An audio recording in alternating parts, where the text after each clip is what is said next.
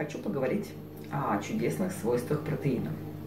Кто-то говорит, что протеин а, способствует улучшению жиросжигания.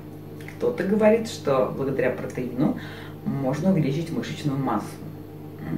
Протеин – это белок. Соответственно, похудеть или набрать мышечную массу можно только в том случае, если при определенном объеме белка, который поступает в ваш организм, вы будете либо придерживаться питания, благодаря которому вы сможете снизить массу тела, то есть э, создавая небольшой недостаток энергии, поступающей в организм, вы похудеете.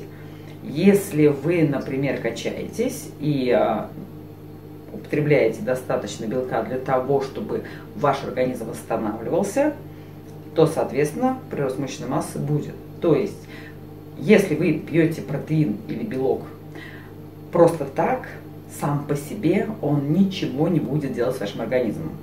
Даже скажу больше, если в ваш организм поступает больше белка, чем ему нужно по факту, а, то белок становится тоже жиром. Любое вещество, которое поступает в наш организм а, излишне, превращается нашей печенью в гликоген, либо в глюкозу. И, соответственно, если это вещество нам не нужно, то оно транспортируется в жир. А после того, как оно поступило в жировое депо, оно навсегда становится энергией, то есть жиром. Это все. Принимай, не принимай протеин. Если ты не будешь ничего делать, то он тебе не поможет.